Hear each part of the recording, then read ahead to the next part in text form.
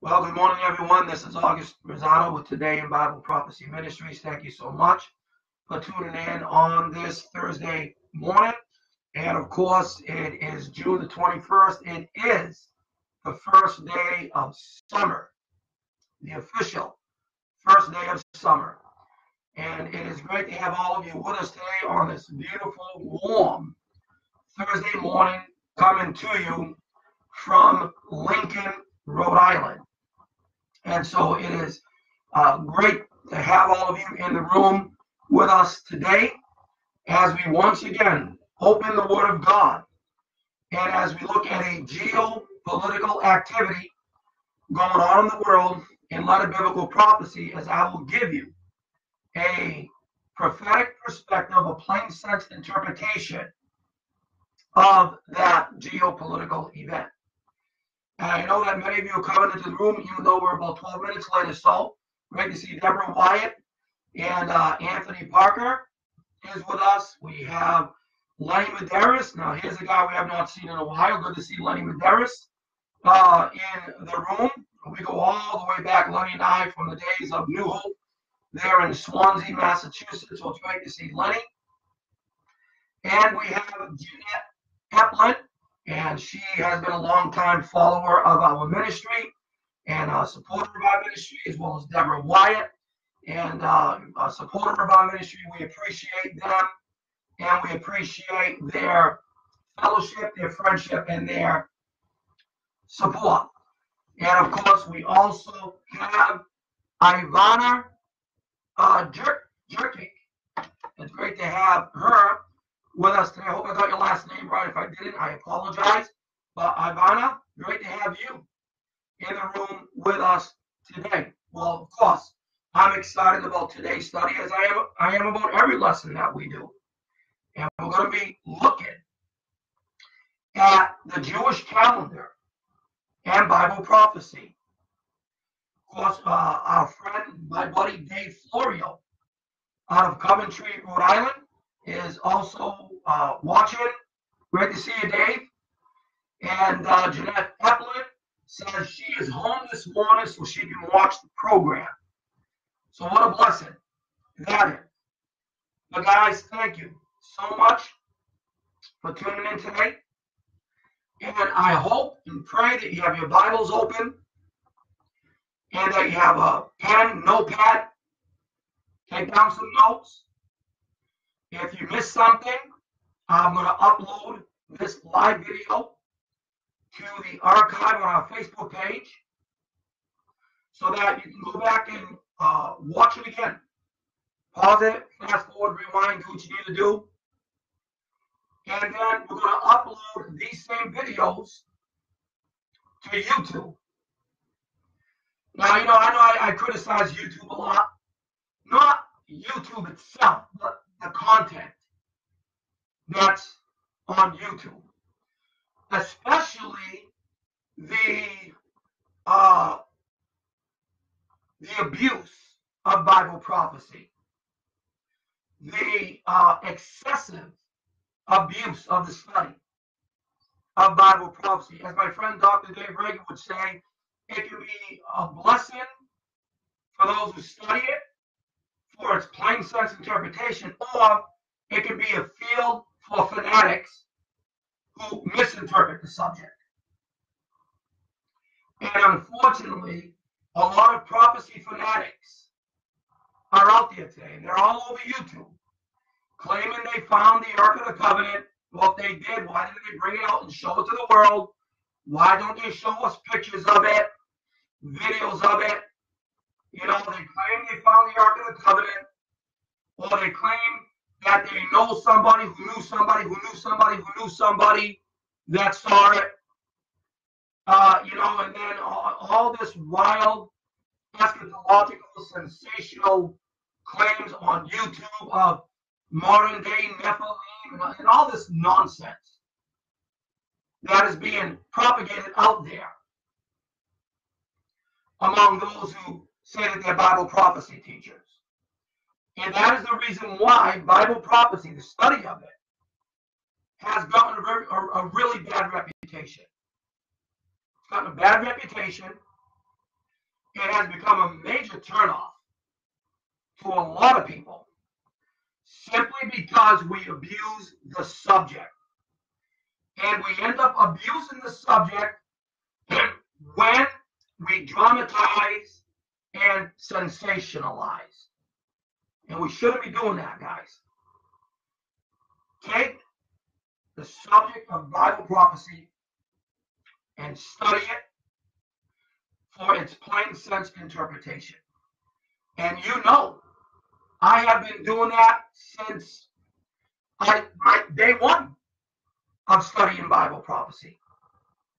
And those of you that know me, you know that I don't engage in that stuff, nor will I associate with others who do. I've been invited to prophecy conferences in the past where I finally had to say no, no more. I will not take conferences where there are multiple speakers. Uh, I've seen a disaster that, that came out of that. And uh, other prophecy teachers out there who just are way out in right field, man. So we got to be careful, guys. If you're going to study Bible prophecy, you study it for its plain sense interpretation. Robin Fraser, great to see you. Hope you're doing well. And Dave uh, Vandervin, good to see you today, buddy. We also have Carly uh, Alpema, Stephen McSmith, Ryan Alexander. Great to have all of you with us today for our Bible prophecy update. Again, I come to you Tuesday through Friday, 11 a.m. Eastern Standard Time. And uh, on Friday, tomorrow, we're going to have Friday prophecy Q and A. That means this is your opportunity to ask me a Bible prophecy question. You all, you guys put me on the hot seat um, every Friday morning for Friday prophecy Q and A. So have your Bible prophecy questions ready for tomorrow. I mean, you can also ask one today. You're not limited to just Fridays. But if you want to wait till Friday, join us in the room Friday at 11 a.m. Eastern Standard Time. We also have Judy Varble DeYoung, the wife of Dr. Jimmy DeYoung. Prophecy Today, and they are watching. I know Judy, uh, uh, you and your husband Jimmy were are in South Dakota. I was just in South Dakota. I did a seven-day Bible prophecy conference in Milbank, South Dakota, and that was um, a Sunday through Sunday. Those guys put me to work when I go out there. A Sunday through Sunday Bible prophecy conference with only one day off on Saturday. So they had me preaching Sunday, then Monday, Tuesday, Wednesday, Thursday, Friday. Gave us Saturday off to recuperate, and then went at it again the following Sunday. Milbank Baptist Church in Milbank, South Dakota. My wife and I just got back a couple of days ago from Milbank, South Dakota, and uh, we're back home in Rhode Island. This Sunday, I am going to be preaching at Adams Square Baptist Church. Adams Square Baptist Church is in Worcester, Massachusetts. I will be preaching all day there on Israel, Bible prophecy, and current events. So I will be there at Adams Square Baptist Church in Worcester, Massachusetts. So if you live in that area, Auburn, or any of those surrounding areas, come on up. If you don't have a place to go on Sunday, well, come and join us. Adams Square Baptist Church, where I'll be preaching Sunday school, Sunday morning, and the Sunday evening service on Bible prophecy, the plain sense interpretation of Bible prophecy, teaching you and preaching to you Bible prophecy for its grammatical, historical, contextual, and literal interpretation. And so come on out this Sunday, Adams Square Baptist Church in Worcester, Massachusetts. And so getting back to Dr. Jimmy DeYoung, uh, Dr. DeYoung, uh, he's, he's been a teacher of mine for years. I think I started following Jimmy. I got saved in 1988 and immediately began my studies in Bible prophecy after a pastor friend of mine who led my wife to the Lord back in 1988. I got saved uh, while I was at work uh, at an animal shelter. That's where I worked when I first got saved, April 22nd, 1988. And um, the pastor came over our house and led my wife to the Lord and married us. And then it was that same pastor who took me to a Jewish synagogue in New Bedford, Massachusetts, where I was born, on Brownell Avenue, and uh, took me there, sat me down, and he said, just listen as I talk to the rabbi and you know the Jewish people. He started sharing all these messianic prophecies uh, with them, telling me that Israel uh, is God's chosen people, the apple of his eye. God is not done with Israel. Replacement theology is a fallacy. Teaching me all these things, and the Holy Spirit just just put something inside me. And I said to myself, I got to study this subject called Bible prophecy, eschatology.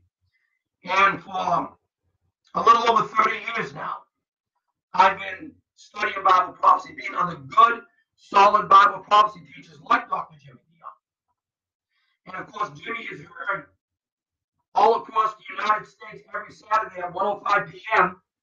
Eastern Standard Time on Prophecy Today. And if you, I, and let me tell you something, there are some bad prophecy teachers out there. I'm just going to say that straight up. There are some bad prophecy teachers out there. I know that all of us, even with good prophecy teachers, we're not all going to agree on everything. Okay? That's just a given. That's just human nature. Okay? Dr. Jimmy DeYoung will teach you some good, solid eschatology. And I, he's just only one of a few, very remote uh, that I would recommend as good, solid Bible prophecy teachers. And he's been my teacher for many, many years. He even has a school called School of Prophets. You might want to check that out by going to their website. I know I don't, you know, endorse, honestly, not endorse, it's a bad term for me to use, but I don't give other people's websites on here, but I will for Dr. DeYoung, prophecytoday.com. And if you want to get involved in his School of Prophets, uh, you can do exactly that. Uh, you can do it through home correspondence. You can do it through actually going there. I've been to I've been to uh, his school uh, a few times, and I know I haven't been going there because my schedule is just absolutely crazy. My speaking schedule, Israel trips, and I know I need to get back into it down the road sometime down the road. But um, I think that's something you might want to check out. So there's a plug for you, Dr. J. But um, other than that, this Sunday I'm preaching at Adams Square Baptist Church. And then Monday, um, this Monday, my wife and I leave for Israel. Just my wife and I. Uh, no tour groups, not on anyone's schedule. My wife and I are leaving for the Holy Land, her and I. Before I go on there, let me see Kenneth Avery. Great to see you, brother. Pastor uh, Sadiq is with us. Anders Ekman, our dear brother from Sweden, is going to be in Israel the same time I am, and I'm hoping that him and I can hook up while we're out there. Uh, Candy and Paul Swihart, Hope Biggs, and her husband, Pastor Brian Biggs, is in the room.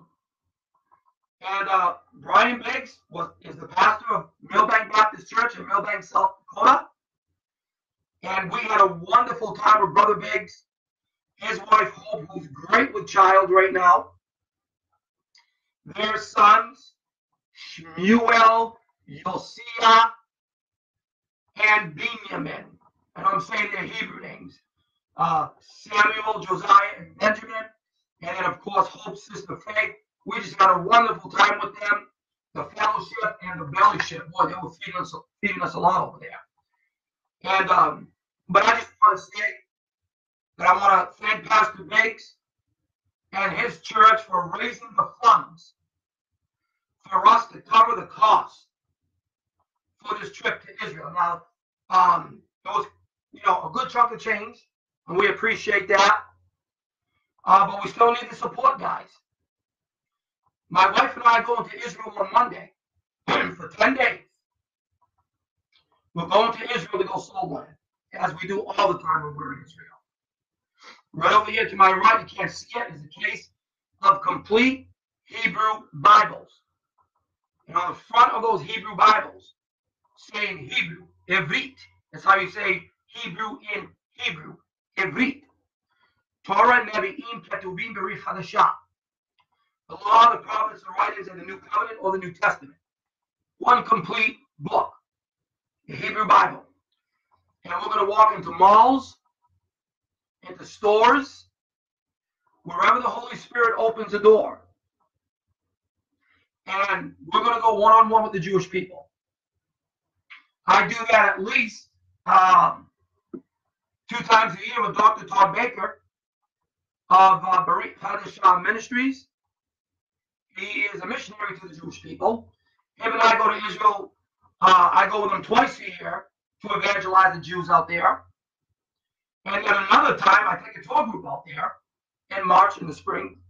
And if you'd like to come with us next year, March 2019, love to have you join us on our Bible prophecy tour.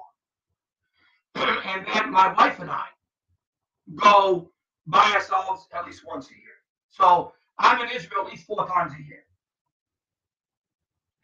And so we're going out there, not to lay on the beach and overlook the Mediterranean, not to lounge out somewhere in a hotel in Caesarea. We are going to Israel to share the gospel. And I'm going to be shooting some video out there. Teaching Bible prophecy on location. Like one of the areas I want to go to is a place called Shiloh. You say Shiloh, but really it's pronounced properly in Israel, Shiloh. I'm going to be doing a video shoot there in Shiloh, in Bethel, where Jacob uh, went to Bethel and he saw the angels ascending, ascending and descending upon the ladder. I'm going to be doing a teaching there. We're going to be doing some teaching up in the Galilee. My wife and I have rented apartments in uh, in Netanya, uh, Tiberias, and finally in Jerusalem. We're not going to be in hotels. We'll we are rented apartments out there, and we got a really good deal on these apartments through a, a website called Airbnb. And so um, it's all set in stone. Bibles are ready, complete Hebrew Bibles. Backpacks ready to go. We're ready to go. Lord willing.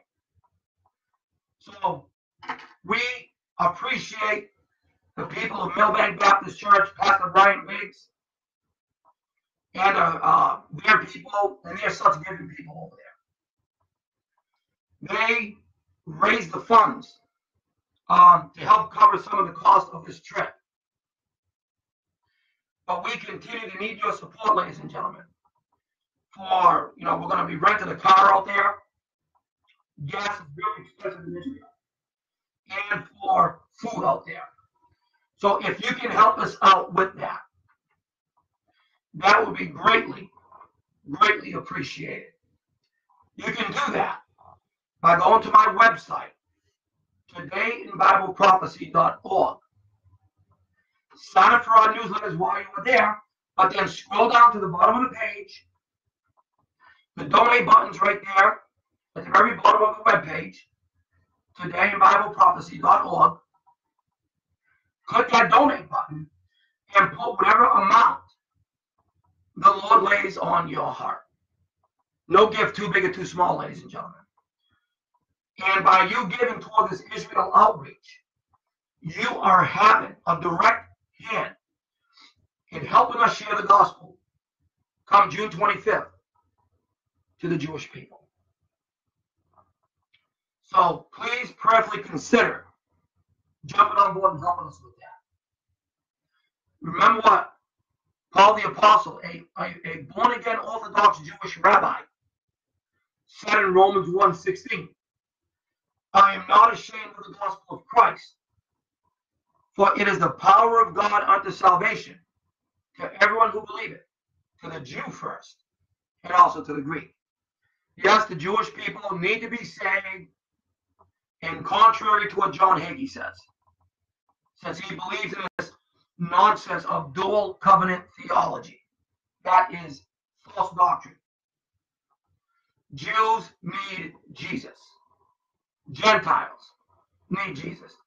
There's not two salvations, as Hagee promotes.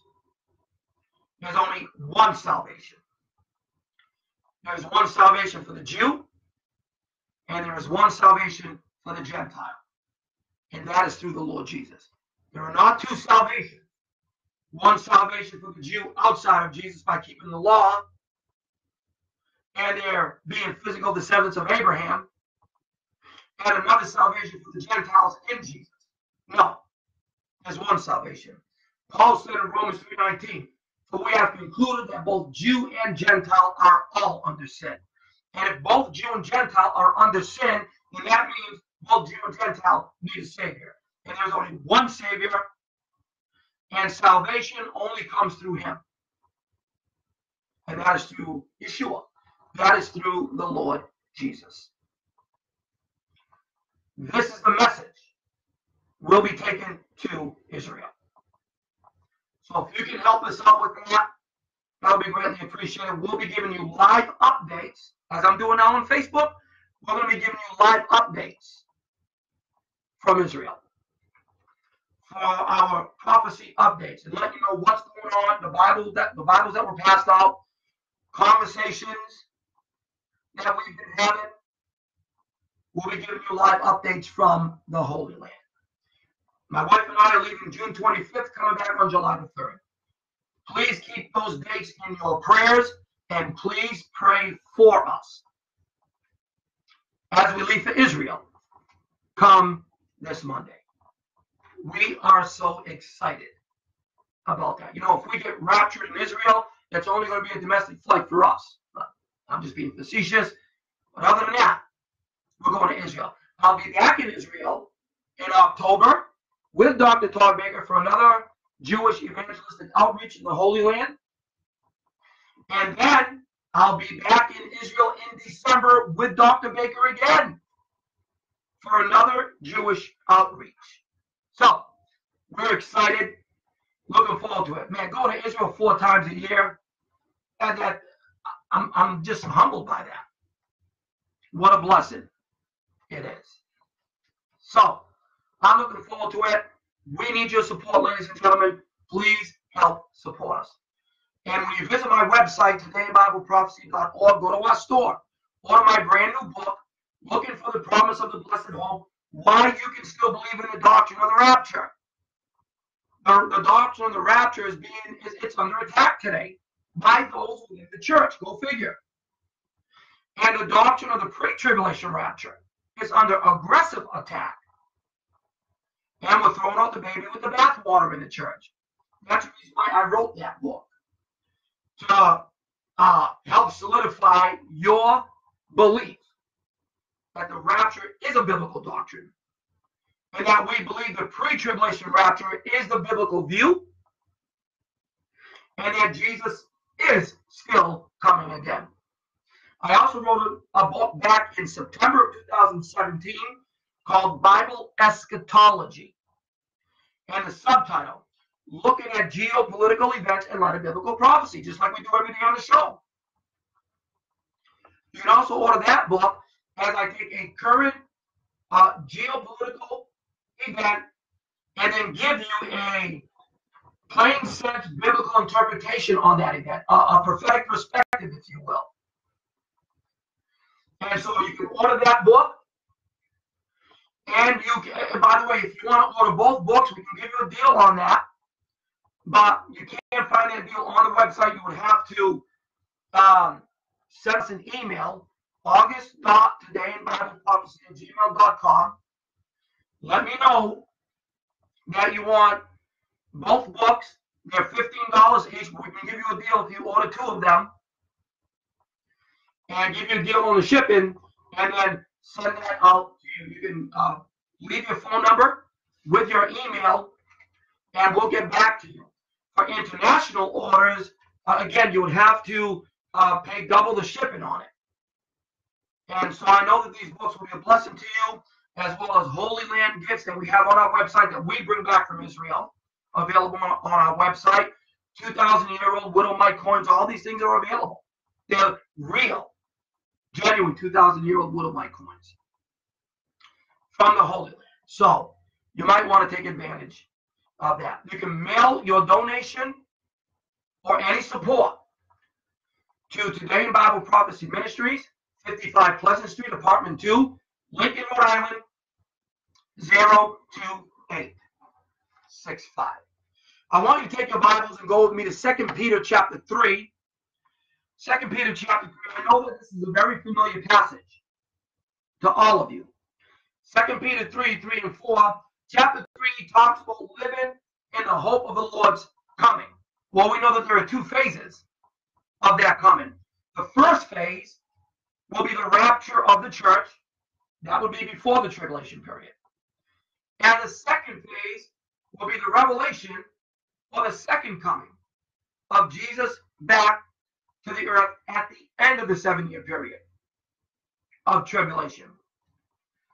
And we know when you use alliteration, there'll be the rapture, return, and then the retribution. The rapture, that's for the church. The revelation, he's coming back with his church. Retribution is to the nations that are in rebellion against him right now and who will make war with him. That is second coming. Jesus will dish out retribution. So Second Peter 3 is talking about living in the hope of the Lord's coming. Well, the blessed hope. But in verses 3 and 4, Peter says this Knowing this first, that there shall come in the last days scoffers, walking after their own lust and saying, Where is the promise of his coming? But since the fathers fell asleep, all things continue as they were from the beginning of the creation. That's exactly what we are seeing right now. And folks, I got to tell you this, it's a very disturbing trend that is happening in the church. The last days began with the birth of the Lord Jesus 2,000 years ago and will end at the rapture of the church when the Lord will call his bride to meet him in the air. The rapture will conclude the church age. Since Pentecost up until now, there have been 2,000 years of church age history. That church age will conclude when the Lord calls his bride out of the world. The last days that we're in now will then turn to the end times. The end times that will include the tribulation period, the second coming, Armageddon, the 1,000 year millennial reign, which is literal and bodily and physical. But then that concludes at the great white throne judgment. So we're in the last days right now. And in the last days, many will deny the Lord's soon return. Peter warns that the church age, that as the church age draws to a close, there will be scoffers. Now, these scoffers are literally mockers. And these mockers, they will ridicule the promise of the Lord's return at the rapture. Unfortunately, most of the mockery is taking place in the church. Not really by unbelievers, but unfortunately by those who are either believers or profess Christianity. They are the ones that are mocking the promise of the blessed hope. They are the ones that are mocking the Lord's soon return. Peter further states that the denial of Jesus' soon return will be based on straw man arguments, based on arguments of the well, the supposedly unchanging process since creation. In other words, nothing has changed. Jesus has not returned. What else is new? That is the attitude. It's been 2,000 years since he made that promise. And since creation up until now, it's the same old status quo. Violence continues. Sodomy continues. Murders continue. Wars continue. Rumors of war abound. What else is new? Jesus has not returned yet, so that means he's not going to return. Peter hit it right on the nose because that's exactly what we see going on today. What these markers uh, fail to take into account is that the people of Noah's day had the same attitude before the judgment of the flood, which was not a local flood. It was a universal, global, worldwide flood. Patty and I, my wife, just had the ark encounter in uh, Williamstown, Kentucky. I figured while I was out there preaching at some churches, let's just see what all the hype is about. So we went to the Ark encounter, and I gotta admit, guys, I was pretty impressed to see this 450 foot long ark, 75 feet tall, 45 feet wide, with three decks, and it will take you at least three hours to go through that ark. I mean, it is it's, it's really impressive to say the least. But the people of Noah's day had the same attitude before the judgment of the flood. It was everyday life. They were drinking, they were eating, they were marrying, they were giving in marriage. They had no idea that judgment was right around the corner. And that judgment fell in the form of a global flood. The beginning of the creation that Peter the Apostle speaks of. Well, that takes us back, folks, to Genesis 1 and verse number 1. In Hebrew, Bereshit bara Elohim Hashemayim Haaretz. In the beginning, Bereshit, in the beginning, God, Elohim, created, that's creation that Peter talks about, created the heaven and the earth. Now, we see in Genesis 1, I love how Dr. Jim DeYoung puts it together. We see in Genesis 1, creation. Uh, Genesis 2, the special effects of creation. Uh, chapter 3, the fall of man. Chapter 4, Cain and Abel. Chapter 5, the genealogy of Seth. Chapter 6, 7, and 8, Noah and the flood. Chapter 9, Noah after the flood. Chapter 10, another genealogy, the table of nations. Chapter 11, the Tower of Babel. And chapter 12, the call of Abram from Ur of the Chaldees. And the beginning of the Jewish race. Because for the first 11 chapters of the book of Genesis, you have the first strand of the human family, the Goyim, Gentiles. Genesis chapters 1 through 11. Then we get to Genesis chapter 12, the second strand of the human family comes into existence. This would be the Jewish people. The people of Shem. The Jews are Semites. They come from Shem, Japheth's son. That's why we have this order Shem, Ham, Japheth.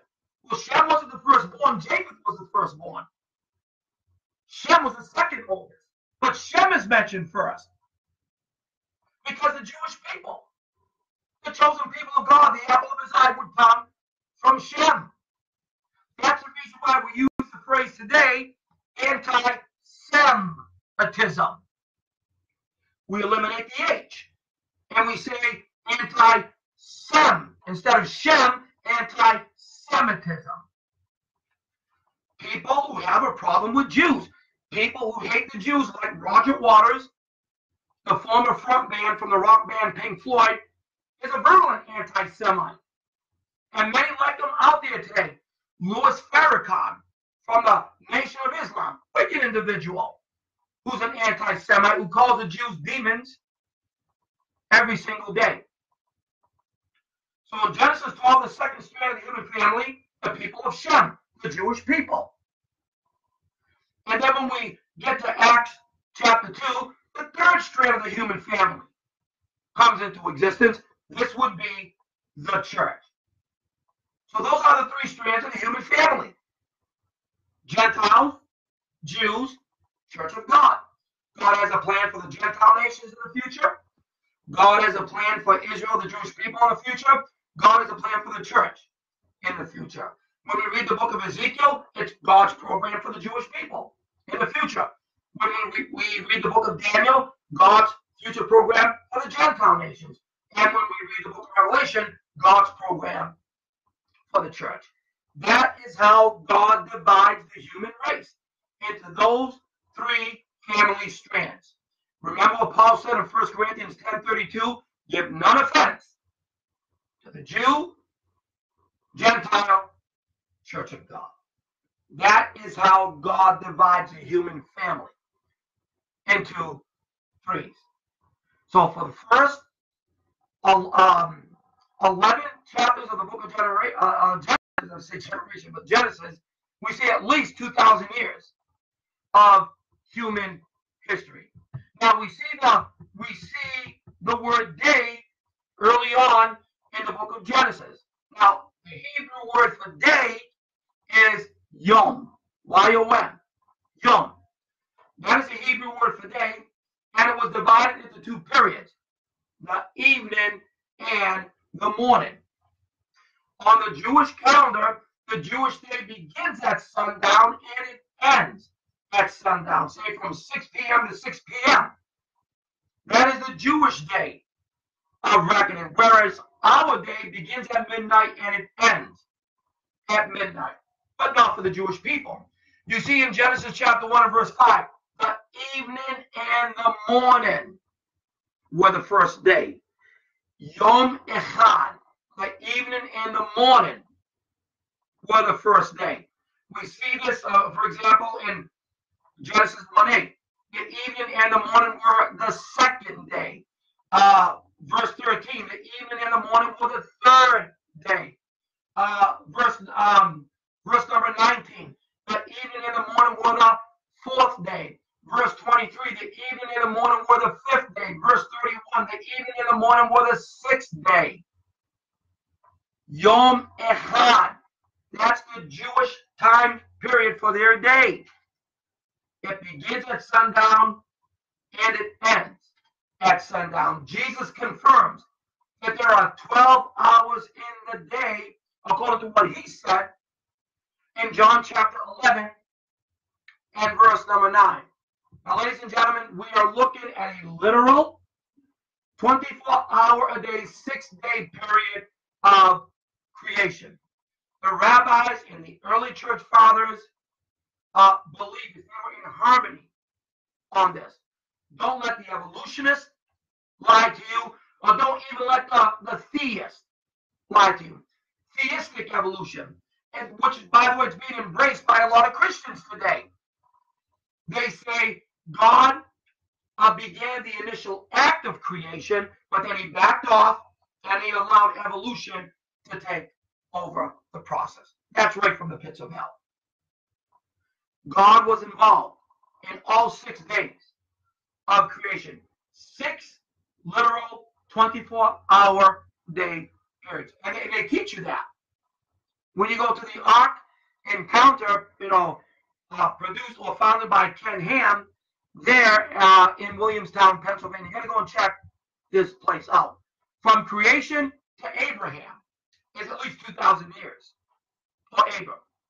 From Abram to the time of Jesus the Messiah is at least 2,000 years. And from Jesus the Messiah to our generation today is at least or almost 2,000 years. So we are looking at almost 6,000 years despite a discrepancy on the Jewish lunar calendar. And, and we know that the Jewish lunar calendar is based on the moon. It's a 360 day year with some 29, 30 day months. Now, the rabbis tell us that we are in the Jewish year 5778. They believe that 5,778 years ago was creation. Now, we have a Gregorian solar calendar that's based on the sun. We say that we're in the year 2018.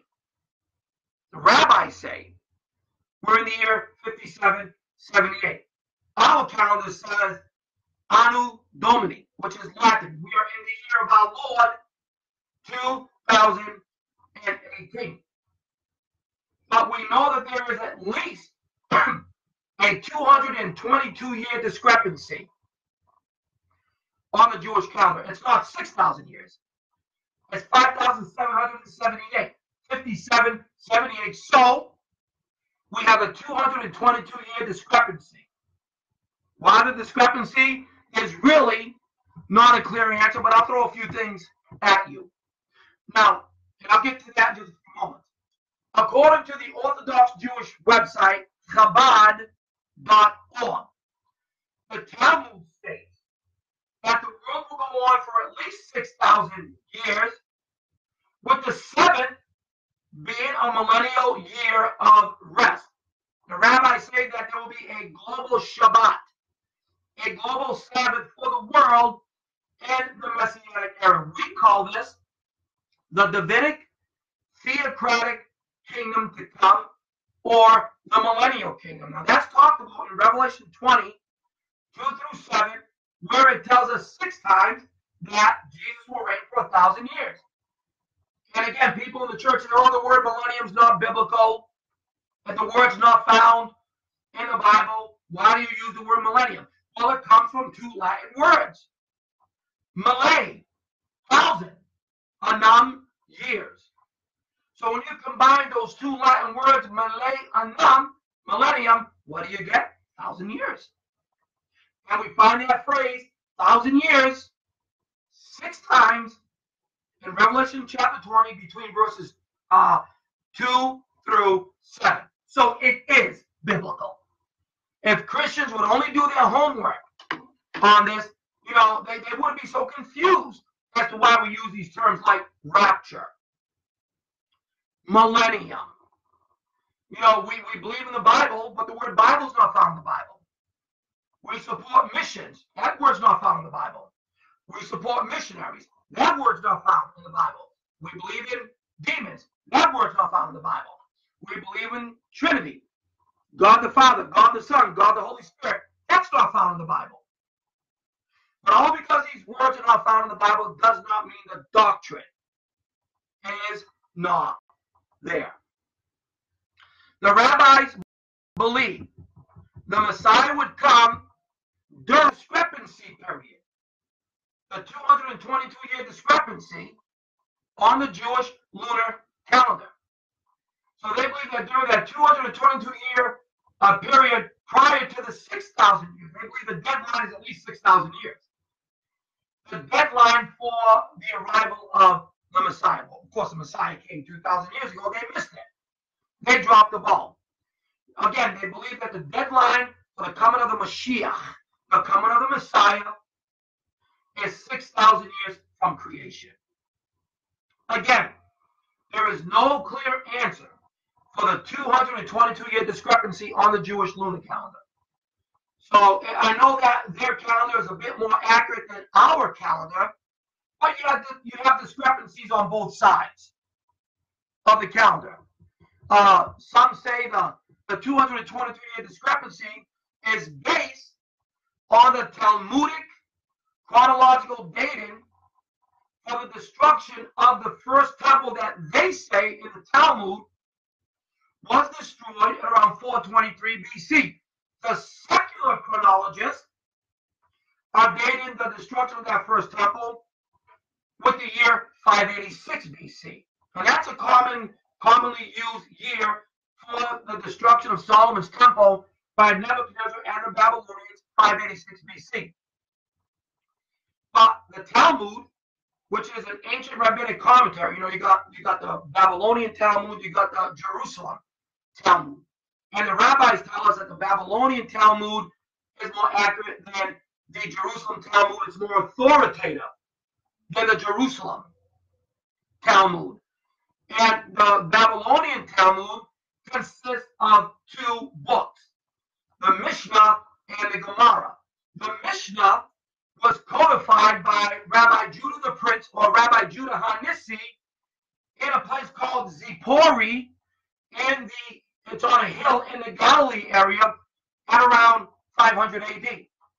And according to Rabbi Judah Hanasi, also called Judah the Prince, uh, uh, the Jewish law was carried by memory, not the Mosaic law, but they believe that there was a second law given on Mount Sinai, carried by memory throughout all the centuries by the Jews, finally written down by Rabbi Judah Hanasi around 500 AD.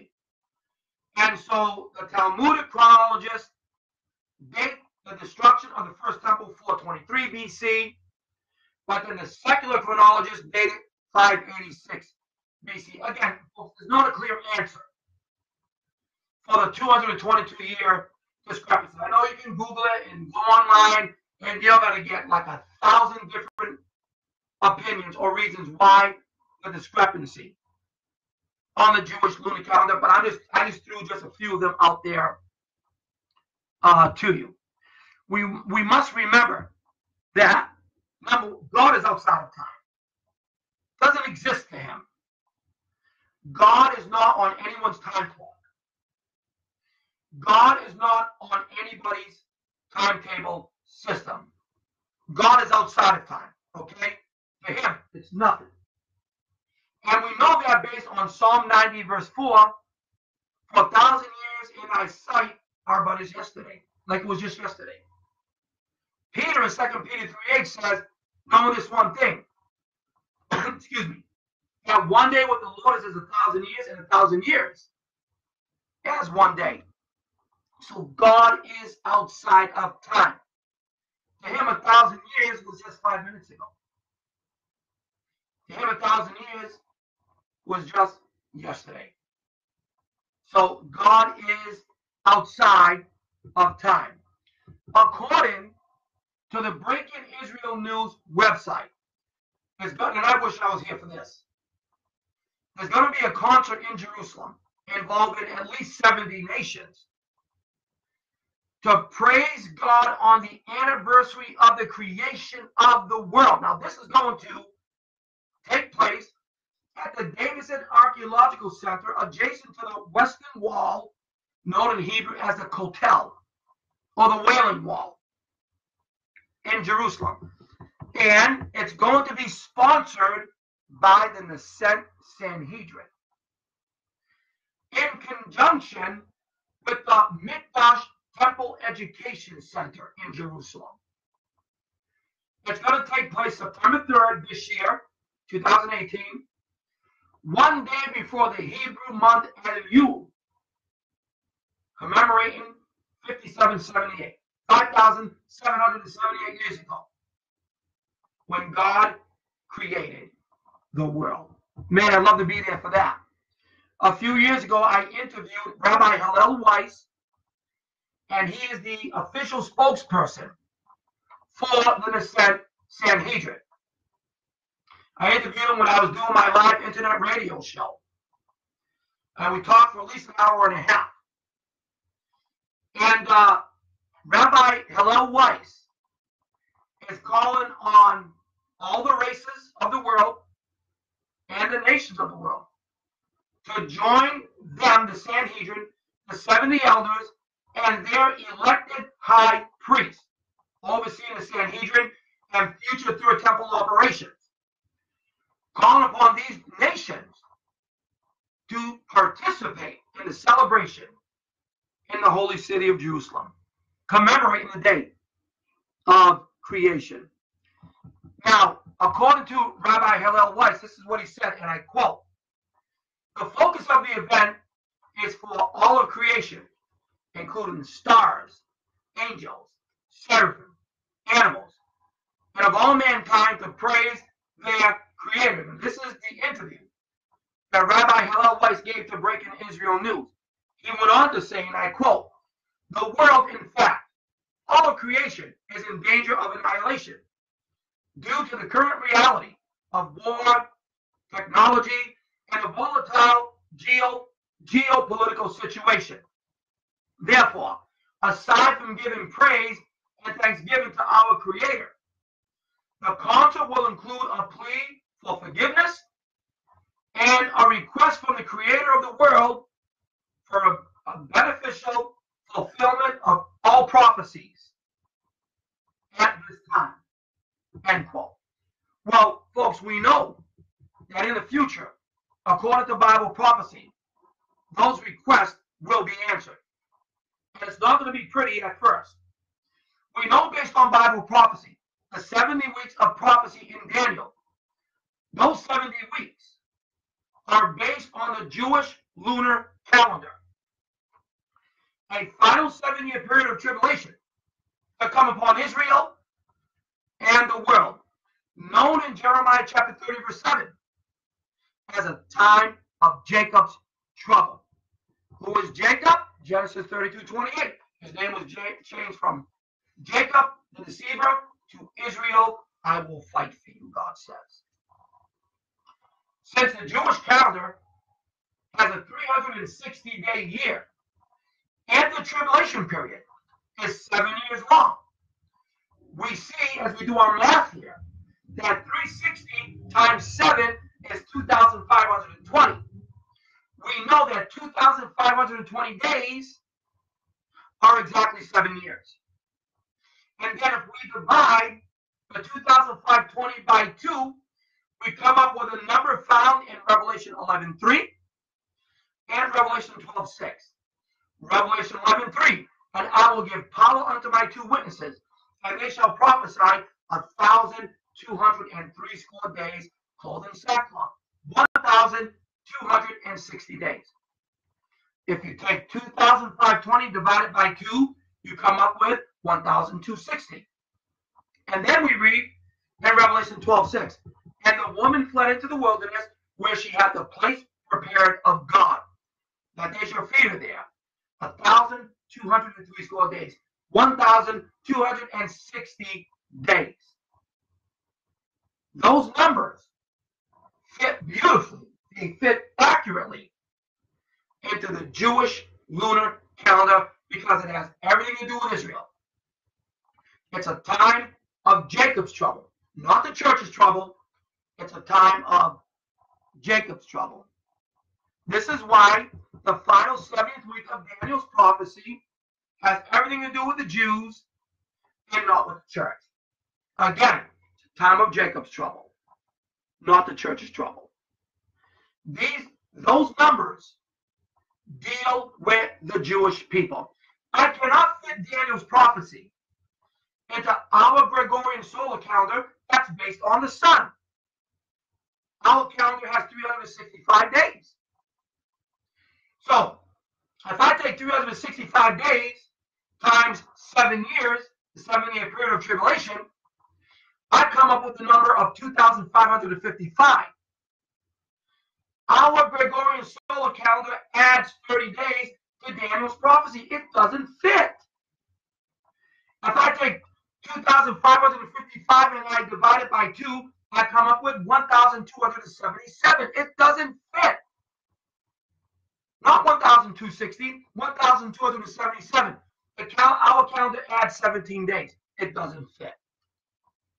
So again, this is a time of Jacob's trouble, not a time of the church's trouble.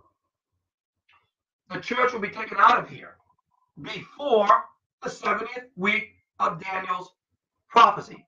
These numbers deal with the Jewish people and not with the church. Daniel 9:24 says 70 weeks are determined upon thy people. Who's he talking about? The church? Israel? Is he talking about Jews? Christians? Well, I know he's talking about Jews. He says 70 weeks are determined upon thy people and upon thy holy city. Ur Kadosh in Hebrew. Ur Kadosh Yerushalayim, the holy city of Jerusalem. So we know this has everything to do with Israel and nothing to do with the church. Again, the church was not in the 69th week of Daniel's prophecy. You have 483 prophetical year based on the Jewish lunar calendar. 173,880 days. The church was not in that period. You can't find the church in that period. I challenge you to do so. And the church will not be in the final 70th week. Why? It's a time of Jacob's trouble. 70 weeks are determined upon thy holy thy people the Jews and thy holy city Jerusalem. We cannot you cannot find a church in the 69th week and you will not find a church in the 70th week in the future. The book of Revelation itself is proof in the pudding of this. The church is mentioned 25 times in the book of Revelation. She's mentioned 19 times before Revelation 4 2. This is before the tribulation period. And this is before we hear the words, come up hither, which many relate to the rapture. And then the church is mentioned six times after Revelation 19 11. This is after the tribulation period, and this is during the second coming. After the second coming. But in between those 16 chapters in the book of Revelation, that deal with the tribulation period. I challenge a mid-tribber. I challenge a post-tribber. I challenge a pre-wrather to try to find the word church on the earth during the seal judgments, during the trumpet judgments, or during the vial or bowl judgments. They can't do it. Oh, they'll try to allegorize and spiritualize and, and maybe try to pull a verse here and pull a verse there to try to put the church on the earth in the tribulation period. They can't do it. We're not there. Either God forgot to put us in the tribulation period, or ladies and gentlemen, we simply are not there. Why? Again, I reiterate, repetition's good. Let it sink into the cerebellum of yours. The seven years of tribulation are based on the Jewish lunar calendar. Those numbers deal with the Jews, not the Christian. You can't fit it into, into the Gregorian solar calendar. The plan of God for the church in the future is to call her out at the rapture. Right now, God is using the church as Israel has been temporarily set aside, not done with. God's not finished with Israel. God still has a program for the Jews. But Israel has been temporarily set aside as God is dealing with the ecclesia, called out ones, us, the church, the bride of Christ, to evangelize the world and share the gospel. And when God is ready, then he will call his bride out of the world at the rapture, and then he will deal with Israel down the road during the final 70th week of Daniel's prophecy. You see, guys, doctrine falls into place. Doctrine appropriately and accurately falls into where it needs to be when we take the scriptures for their plain sense interpretation. When we put Israel in their rightful period and the church in its rightful period, doctrine fits like a hand in a glove. But if you're going to go on YouTube and watch all those nuts out there as a allegorize, I talked about this yesterday on my show. The dangers of allegorization. When you begin to spiritualize and allegorize and fail to apply a grammatical, historical, contextual, and literal interpretation, you're going to get messed up. And you will get messed up. And how? Take the Bible for its plain sense interpretation. Let the Bible interpret the Bible. Let the scriptures interpret the scriptures. apply inductive Bible study. And when you do that, when you when you apply inductive Bible study and compare scripture with scripture, doctrine will fit like a hand in the glove. And if Christians can only get that concept down today, you would not have the doctrinal mess that's taking place in the church. And boy, it is a mess. So, hope this lesson was a blessing to you. The blessing of the lesson. I like that. Anyway, when you have an opportunity, again, visit my website, todayinbibleprophecy.org. While you're there, sign up for our newsletters, navigate around our website, check out my speaking schedule to see if I'll be at a church near you. If you're a pastor of a church and you'd like to have me come to your church, set us for the fall. We'd love to be there. I just got a call from a church in Kentucky yesterday that booked us for November for a four-day prophecy conference. And so that's what we do. I want to teach Bible prophecy accurately to you. I want to teach it responsibly to you because it is so abused in the church today. It can either, prophecy can be a blessing for those who study it responsibly, or it can be a playground for fanatics who allegorize and spiritualize it to death. I want to teach it to you responsibly. And so if you'd like to have me come to your church, Pastor, I'd love to come. Give us the invite. Give us a date. We'd love to come to your church. It can be a one day or it can be a multi day conference. I love multi day conferences. But I only take prophecy conferences where either I'm the only speaker or I'll speak with someone who I know, who I am familiar with, and I know their doctrine. But other than that, I, I don't take conferences with multiple speakers anymore. I've seen I've seen that as a disaster down the road.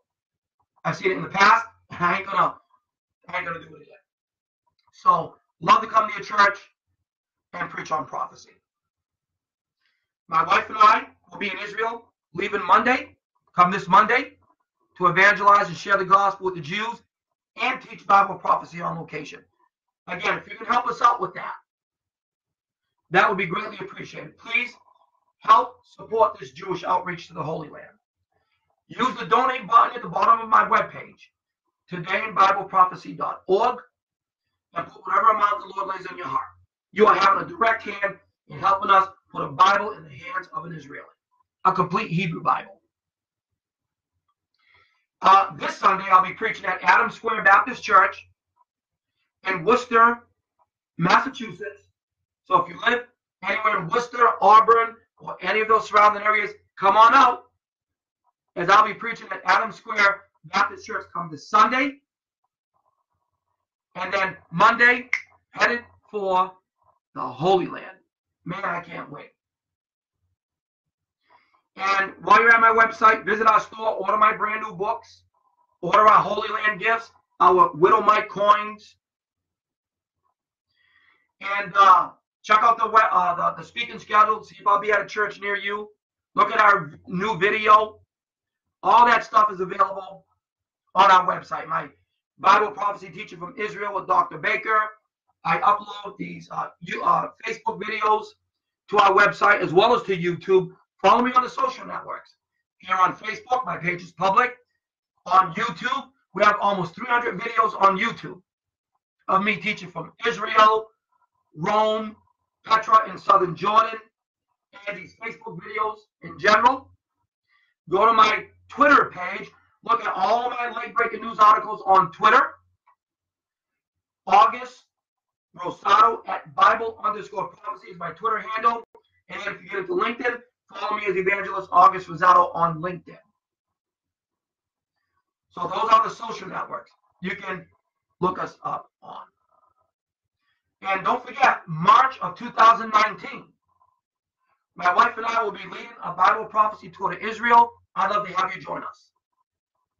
11 days in Israel with a one day excursion there in Petra in southern Jordan. If you'd like to join me in Israel in March of 2019, Lord willing, get a hold of me. I'll let you know exactly what you need to make those preparations now. And when it's all said and done, you'll never read that Bible same way again. And if you don't know the Lord Jesus as your personal Savior, today's the day of salvation. Tomorrow may be too late. If you're not saved, based on what Jesus said in John 3:36, the wrath of God is currently hanging over your head. If that wrath falls on you, you're lost for all of eternity. You're either one heartbeat away from going to hell or one trumpet sound away from being left behind. Repent of your sins today by faith. Call upon the name of the Lord. Ask Him to forgive you of your sins, come into your heart to be your Lord and personal Savior, to change and transform your life, make you a new creation. And if you mean business with Him, He will mean business with you. And if you want to know how to do that, I'd love to talk with you. I'd love to open God's Word to you and show you from the Bible that you can know for sure without a shadow of a doubt that one day heaven will be your home. All right, guys, that's all the time we have today. Tomorrow, Friday, 11 a.m. Eastern Standard Time, Friday, prophecy Q&A. Have those Bible prophecy questions ready for tomorrow morning, and I look forward to seeing you. So remember, keep looking up. Jesus is coming soon. And Sha'alu Shalom Yerushalayim. Pray for the peace of Jerusalem. And we'll talk to you tomorrow morning at 11 a.m. Eastern Standard Time for Prophecy Q&A. God bless, guys. We'll talk to you later. Bye.